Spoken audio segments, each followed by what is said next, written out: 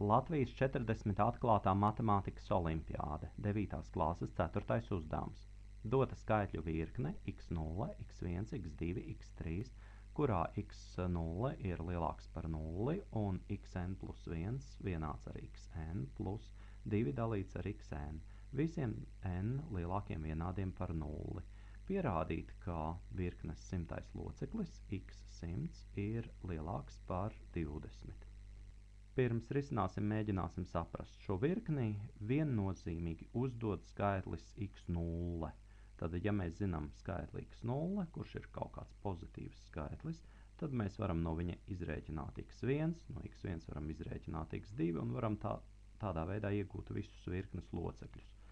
Viņi visi pie tam būs arī pozitīvi, jo x0 ir pozitīvs, un katrs nākamais ir drusku lielāks, jo viņam kaut ko pieskaita klāt pēc šīs formulas.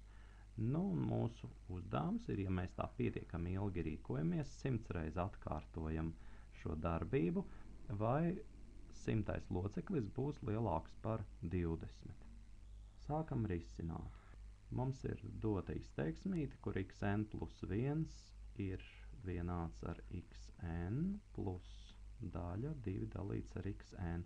Un šeit mēs redzam, ka nav sevišķi patīkami, jo xn vienā brīdī ieiet skaitītājā, otrā gadījumā viņš ieiet saucējā. Mums ir grūti ar šādām izteiksmēm kaut ko izdarīt. Un tāpēc uh, mums ļoti patiktu, ja viņi kaut kā noīsinātos. Nu, un vienīgais veids, kā panākt, lai viņi noīsinās, ir mēģināt viņus kaut kā sareizināt. Nu, mums viena no vienkāršākajām iespējām ir uzkāpināt kvadrātā. Lai viņi sāktu reizināties paši ar sevi, tad mēs uzrakstīsim xn plus 1 kvadratā. Tas ir uh, xn plus 2 dalīts ar xn. Nu, mēs ceram, ka mums pēc šādām manipulācijām kaut kas būtiski vienkāršosies. Nu, mēģinam tās iekabas izkāpināt kvadratā, te būs xn kvadratā plus divkāršots reizinājums xn reiz 2 dalīts ar xn plus 4 dalīts ar xn kvadrātā. Nu, un pēc vienkāršošanas mēs iegūsim, ka tas ir xn tais kvadratā plus šeit tie pazudīs abi iegūsim 4, un pats beidzamais loceklis būs 4 dalīts ar xn to kvadratā. Nu, un ja mēs ticam tam, ka šī virknīte ar laiku aug, tad uh, šis loceklis kļūst mazāks un mazāks, un mēs varam, viņš mums arī nepatīk, mēs viņu tāpēc varam pavisam nomest nost un iegūt to, kā xn plus pirmais kvadratā ir stingri lielāks nekā xn kvadratā plus 4. Nu, šo locekli mēs noņēm, nometām nost, un viņš, protams, ir pozitīvs, tāpēc uh, šis noteikti būs lielāks nekā xn kvadratā plus 4. Nu, un tagad mēs varam sākt uh, skatīties, piemēram, x2 kvadratā ir lielāks par x1 kvadratā plus 4, jo šī sakarība ir spēkā ikvienam n lielākam vienādam par 0, jo šī arī bija spēkā visiem n lielākiem vienādiem par 0. Tālāk mēs pārveidojam to tādējādi, ka šis savukārt ir lielāks par x0 kvadratā plus 4 un vēl plus 4. Nu, un tātad tas ir lielāks par x0 kvadratā plus 8. Kā mēs redzam, katrs nākamais kvadrāts ir vismaz par 4 lielāks. Nu, un tādā veidā mēs iegūsim, ka x simtais kvadratā ir lielāks nekā x0 kvadratā plus 4 reiz 100, jeb tas ir vienāds ar x0 kvadratā plus 400.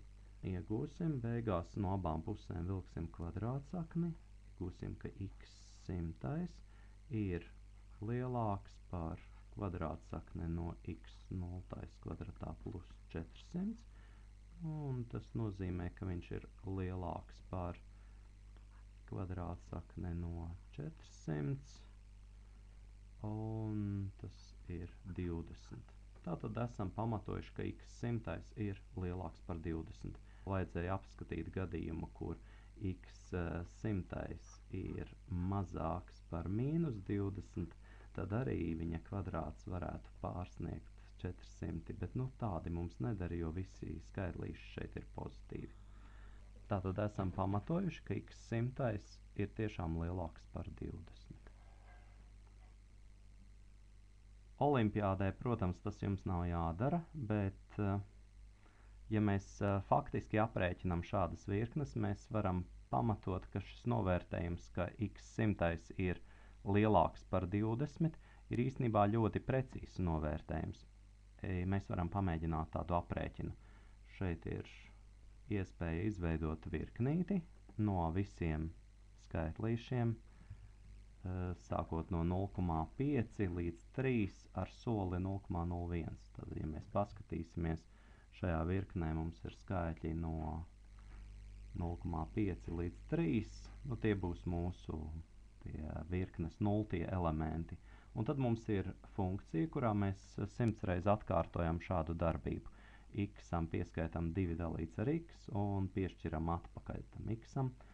Un varam nodefinēt šo funkciju un pēc tam izrēķināt, kādi ir simtie locekļi un uzzīmēt, kāda ir sakarība.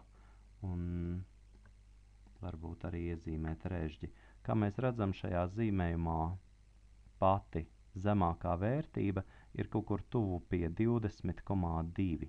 Ja mēs tagad paskatīsimies, kāds ir minimums no virknītes y, tad mēs redzam, ka vismazāko vērtību viņa sasniedz tur, kur x0 loceklis ir kaut kur starp 1 un 1,5, tuvāk laikam pie 1,5, un ja mēs simts reizes uh, veiksim šo darbību, tad virknes simtais loceklis būs kaut kur 20,2.